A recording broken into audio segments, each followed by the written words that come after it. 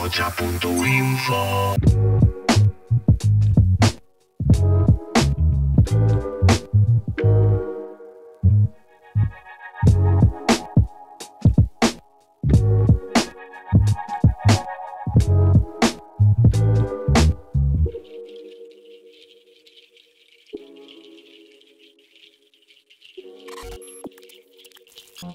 Thank Bueno, la situación en Euskal Herria eh, vemos que, el negocio de las casas de apuestas no para de crecer. Nos están haciendo, tratando de hacer regulaciones, moratorias, como vemos en Nafarroa, para no abrir más casas de apuestas. Nunca me opondré a ninguna regulación, ninguna moratoria que pueda haber, ni, ni nada que se pueda eh, hacer para solucionar o tratar de paliar esto, pero sí que mostraré un poco eh, mi, rechazo a toda la impunidad que ha habido en todo esto, ¿no? en lo que se ha dejado hacer. Han dejado inocular el virus durante muchos años y ahora bueno, han aterrizado, gente que ha aterrizado ahora y ve pero con preocupación cómo está la ludopatía entre los más jóvenes. ¿no? Inocular el virus, dejar inocular el virus y ahora mostrar una preocupación. Yo creo que antes de, de poner estas cosas había que haber prevenido. ¿no? Hablando con las asociaciones de, de, ludópatas sí que te encuentras con testimonios de, de, muchas personas que acuden ahí y son dramas auténticamente pues, tremendos, ¿no? porque no solamente afecta al individuo, a la persona, sino que afecta al ámbito familiar. Hay gente que ha hipotecado su, su vivienda, hay gente que ha arruinado a su familia. Y hay un dato muy importante que no se hace mucho énfasis, que es el tema un poco tabú de los suicidios. Yo no entiendo por qué es un tema tabú el tema de los suicidios. Hay gente que te explica, bueno, cuanto más se hable, más sucederá, entonces no podríamos hablar absolutamente de nada. Hay estadísticas por ahí en el Estado español que nos dice que el 20% de los suicidios están relacionados con el juego. Es decir, cada mil personas, 200 personas deciden quitarse la vida porque tienen un problema de adicción o de ludopatía.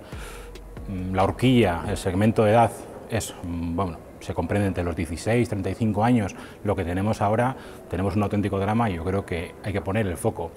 Ellos pervierten mucho el lenguaje a la hora de hacer los anuncios de casas de apuestas, con gente famosa, gente referencial, entre comillas, que para mí no son referentes de nada. Y yo creo que deberíamos también nosotros revertir un poco el, lenguaje ¿no?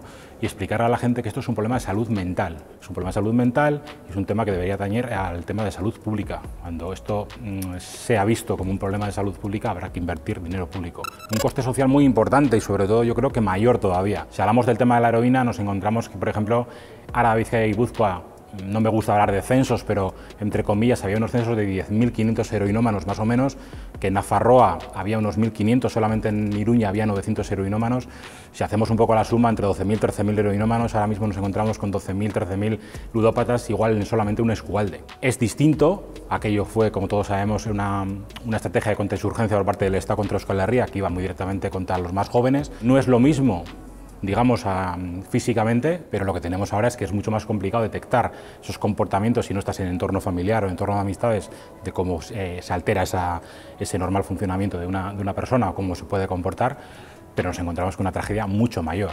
Yo me recuerdo que empecé hablando de que esto era un problema muy importante, luego dije que esto era una auténtica lacra y ahora lo que estoy diciendo es que es una auténtica tragedia es un problema de salud mental, es un tema que debería tañer al tema de salud pública. Cuando esto mm, sea visto como un problema de salud pública, habrá que invertir dinero público. Bueno, bienvenido sea, ¿no? Yo siempre, como te decía antes, no seré yo quien se vaya a oponer a moratorias, a regulaciones, a todo lo que se pueda hacer, pero sí mostrar un poco mi incredulidad y hasta mi, rechazo a, a todas estas instituciones que han mirado para otro lado, han dejado hacer y que ahora cuando está prácticamente al 95% cerrados todas las licencias, pues pongamos estos paños calientes. Repito, bienvenido sea, y hay que agarrarse a lo que, a lo que se puede hacer ahora, y si hay una moratoria, pues eh, bien, pero el problema es mucho mayor, el problema ya está inoculado, y yo creo que hay que tomar otra serie de, medidas más drásticas. La lucha vendrá de trabajo de Ausolán, como ha venido toda la vida en Euskal Herria, de todos los elcartes que hay en un montón de, barrios eh, y escualdes y rialdes de, de, nuestra, de nuestra tierra,